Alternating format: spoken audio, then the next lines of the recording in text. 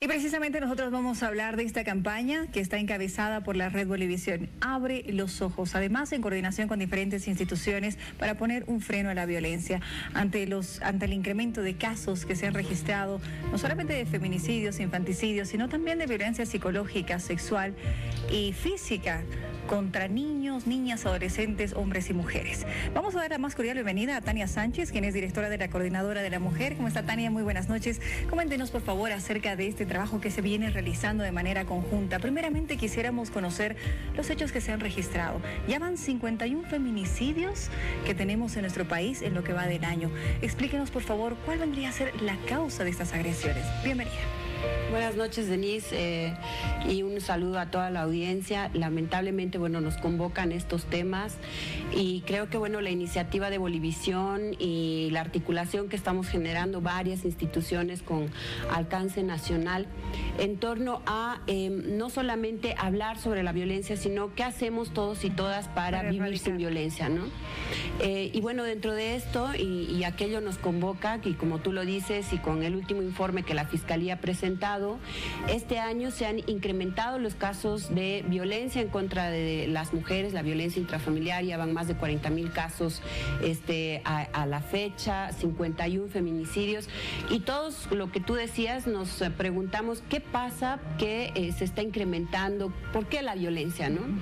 Y eh, ahí eh, que creemos, y bueno, desde, desde hace mucho lo venimos planteando, esto es fruto de un, del sistema patriarcal. ¿No? que eh, nos subordina a hombres, a mujeres, a la madre naturaleza y que se manifiesta a través de distintas expresiones o privilegios que tenemos ambos. Lamentablemente, eh, una expresión del patriarcado, que es el machismo, eh, asume la propiedad sobre el cuerpo del otro, ¿no? Y esto y estas desigualdades, además las profundas desigualdades, se traducen prioritariamente sobre el cuerpo de nosotras las mujeres, ¿no? En cualquier clase social, condición económica, lo que fuera, siempre son las mujeres las que están en mayor desventaja. Y la violencia se expresa porque, bueno, está habiendo eh, una eh, respuesta también, violenta sí, de prioritariamente hombres ante eh, el hecho de que cada vez más mujeres nos animamos a decir, yo puedo sola, yo puedo estudiar, yo puedo trabajar, me puedo mantener, tengo derechos, el hecho de que alguien venga, me subordine o quiera golpearme o me agreda psicológicamente, ¿no es cierto? O sea, cada vez más hemos ido avanzando, no en vano tenemos eh, a nivel eh, del país una de las legislaciones mucho, muy, muy avanzadas, solo que la aplicación de la legislación no ha ido de la mano de, eh, bueno, de estos avances, ¿no? Como decíamos, el tema de, la ley 348 que tal vez no ha puesto freno a estos casos de feminicidio que se han registrado en los últimos años, porque tomamos en cuenta que han ido subiendo, se han ido incrementando, o es que han habido más denuncias. Son ambas cosas. De hecho, una ley no, no, no soluciona el tema por sí sol, ¿no? Eh, y tenemos que ver también toda la cadena.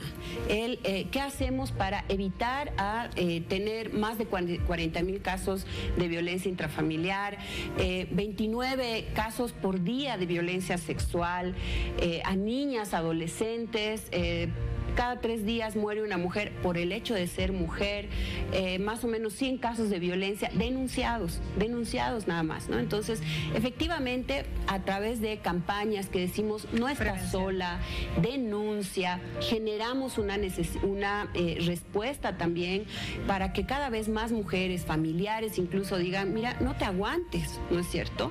La cosa es cómo hacemos para no llegar a aquello. Y es también lo que la ley no ha avanzado en su aplicación plena, que es cómo hacemos para prevenir la violencia, para desnaturalizarla, para decir la violencia no es normal, ningún tipo de violencia. Correcto. ¿Cuáles vendrían a ser, Tania, las consecuencias para terminar, por favor, de estos feminicidios que se han registrado en los últimos años? Bueno, creo que las consecuencias están, están visibles, eh, lo veíamos en, el, en, la, en la nota anterior que ustedes hacían, que no afecta solamente, la violencia no afecta solamente a la, a la mujer que, ha sido violentada, a la familia, nos afecta a todos y a todas. Desde el hecho de que naturalizamos, de que vendemos incluso la violencia, ¿no? De que generamos sociedades eh, desiguales. Entonces es necesario que todos y todas nos planteemos también el qué hacemos si bien exigimos a las instancias del Estado porque tienen la obligación, nosotros y nosotras como ciudadanos y ciudadanas también tenemos la obligación de ejercer derecho, ¿no? Y de cumplir derechos. Y parte de aquello es también el decir, bueno, basta, no reproduzco, eh, y no es el tema de solamente el golpe, el insulto, es a veces hasta la, la, ridiculización a el ser hombre y al ser mujer, ¿no? Es cuestionarnos al final y avanzar en función a eso que nos hemos planteado, creo, desde hace varios años ya y que es una propuesta y demanda desde las eh, distintas organizaciones de mujeres, que es la despatriarcalización. Una sociedad que proteja la vida, que ponga la vida en el centro y que no tolere la violencia, va a ser mejor en todos los sentidos. Y como decíamos, tenemos el derecho de abrir los ojos. Así que queremos, muchísimas gracias Tania por acompañarnos en esta oportunidad y queremos nuevamente invitarlos a todos ustedes a que se sumen a esta campaña.